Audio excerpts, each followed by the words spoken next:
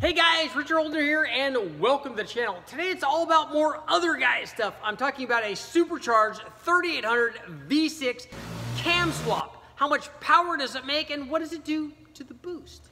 In this video, we're gonna take a look at a camshaft upgrade on our 3800 Series 3 supercharged, you know, the little other guys V6. That's right, we're gonna compare the factory camshaft to a comp cams upgrade, and we're looking really for two things. One, I want more power, as always, from our camshaft. We know the factory Series 3 camshaft is very mild, so with a cam upgrade, I'm hoping we get more power. But every bit as important, I actually want less boost. And I know you're thinking, Richard, why on earth on a supercharged combination would you want less boost? Well, our 3800 Series 3 motor is already making about 15 or 16 pounds of boost with a stock cam. We have a pulley upgrade and headers on it, and I actually want more power and less boost. Can the camshaft do that?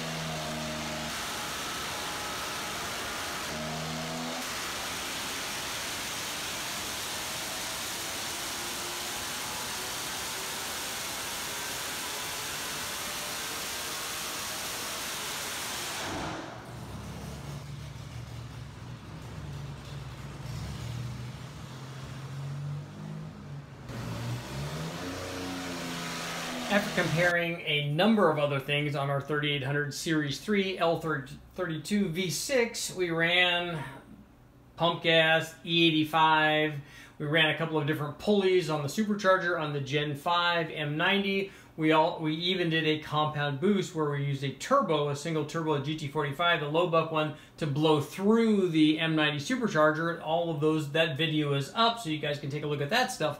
But after doing that, we decided it was time for a cam change. So what we wanted to do, we had our supercharger already equipped with a 3.2 inch blower pulley. We retained that.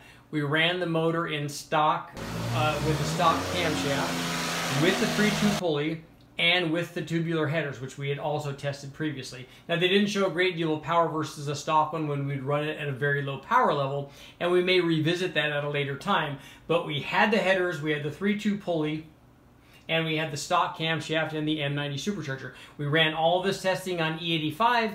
Both combinations, both camshafts ran the same ignition timing, which varied from at the load-in point of about 20 or 21 degrees all the way up at the power peak up to 24 degrees. So both of them had the same timing curve. We also kept the air fuel consistent around 11.8, 11.9 to make good power with the 85.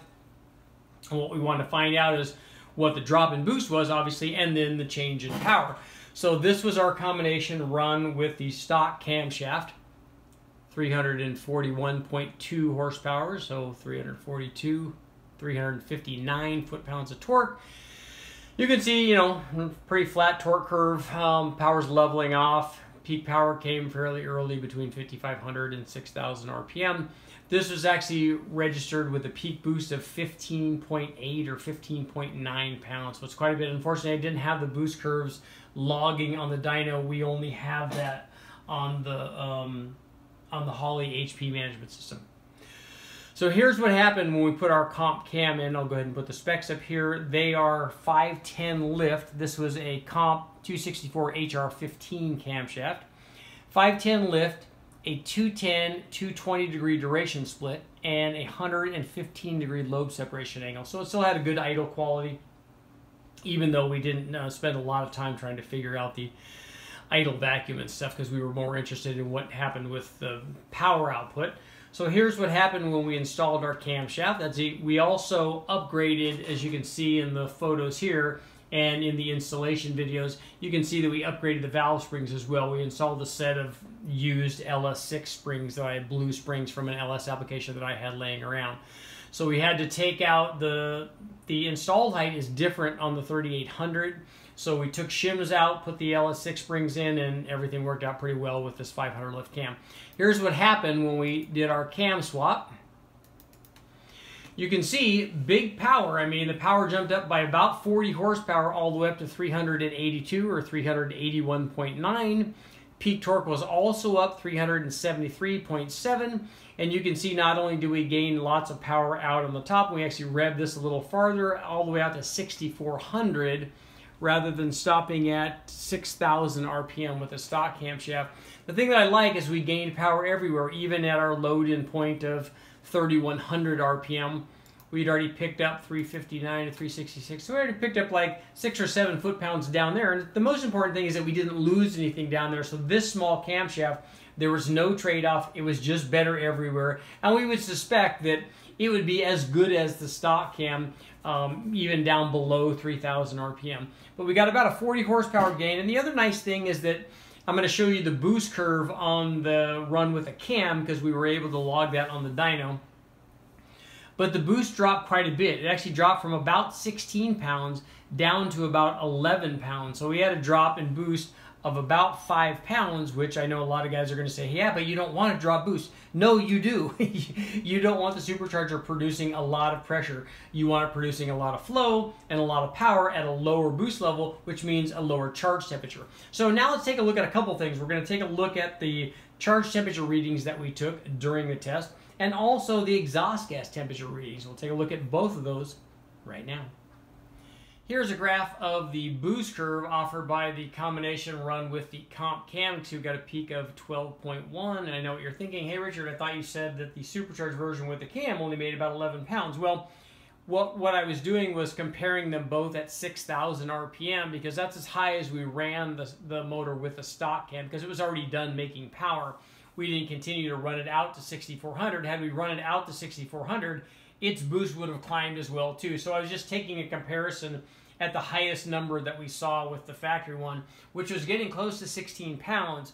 So 16 versus 11, there's about a five pound difference, and we would expect to see at least that much if we rev the stock cam out this far too, because it would be past where the thing want, really wanted to make power. But at any rate, the we dropped about five pounds of boost going to this camshaft. But as you can see, we're starting out around a little over eight pounds and then we're rising to a peak of 12.1 at 6400. It's staying fairly consistent all the way out to past 5,000. Even at 5,000, we're only at uh, around you know 9.2 or so. Um, so it's still only gaining about a pound of boost there. But then you can see after that, especially past 5,500, it start rises it rises up fairly rapidly. So what that tells me is, and we saw this with the stock cam as well what it tells me is that this thing could still use more cam timing. We want to try to negate some of that boost rise out at the top and make the thing more efficient out in that RPM range, and we can do that with camshafting with camshaft as we saw when we did this cam install. Now let's take a look at the exhaust gas temperature and the air inlet temperature. Taking a look at our charge temperature at roughly uh, between 11 and 12 pounds with the comp cam, we see that we had we started out on this run at 115 degrees at our load in point and rose to a peak of 180 degrees out at 6400 RPM. The thing I want to notice, I want you to note, is that take a look at this. The, the, the boost curve was rising on our supercharger as we saw in the previous video. And the temperature, therefore, is also rising, the, the air temperature going into the motor. But I also want to show you something else. If we take a look at a couple of the other runs, which vary, we can see the following thing. So this is another run with the comp cam. It's just that it started out at a higher temperature. We started out at 137 degrees. So the temperature, the starting temperature of the of the the air under the supercharger is going to change. It's going to change by how long you're idling, even though it has a bypass valve and it's recirculating. How much temperature is in the motor, especially under a temperature if this is actually in a car. All of that is going to vary the starting temperature under there, how long you've been driving, whether or not you've made, you've just made another high boost run because this thing is non-intercooled. So if you're hot lapping this car, driving around in traffic, you're going to have a lot of inlet temperature to start out with. And as you can see here, having more inlet temperature to start out with meant that we had more temperature at the end. In this case, it was up to 193 degrees. Now, we saw some of these runs, when we would run consecutive runs, get up near 200 degrees, even higher than this 193 degrees, even at the lower boost level offered with the comp cam.